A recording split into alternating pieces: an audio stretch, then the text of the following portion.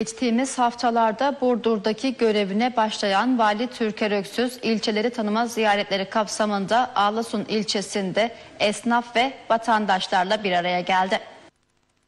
Burdur Valisi Türker Öksüz Ağlasun ilçesinde esnaf ve aile ziyaretlerinde bulundu. Göreve başladığı gün yaptığı açıklamada devletin her zaman vatandaşın hizmetinde ve yanında olduğunu hissettiren anlayışla çalışacağını ifade eden Vali Öksüz, gerçekleştirdiği ziyaretlerle toplumun tüm kesimleriyle bir araya gelmeye devam ediyor. Bu kapsamda Ağlasun ilçesinde ziyaretlerde bulunan Vali Öksüz, Ağlasun Kaymakamı Tahir Demir'den aldığı briefingin ardından İlçe esnafını ziyaret ederek sorun ve taleplerini dinledi. Tek tek esnafları gezerek hayırlı işler dileyen Vali Öksüz, evlerinin önünde oturan bir ailenin sohbetine ortak oldu. Esnaf ziyaretinin ardından 1990 yılında şehit olan öğretmen Bayram Yeşil'in annesini evinde ziyaret eden Vali Öksüz bir süre şehit ailesiyle görüştü. Vali Türker Öksüz, ne yaparsak yapalım aziz şehitlerimize olan borcumuzu ödeyemeyiz.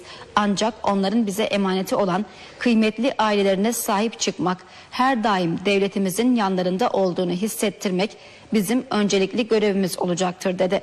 Vali Öksüz, Ağlasun ilçesindeki son aile ziyaretini Sakarca mahallesinde ikamet eden Rabia Düzenli'yi evinde ziyaret ederek tamamladı hayatımızda önemli bir yere sahip olan yaşlılarımızın her zaman saygı ve hürmete layık olduklarını vurgulayan Bali Öksüz, ziyaret ettiği Rabia Düzenli ile bir süre sohbet etti.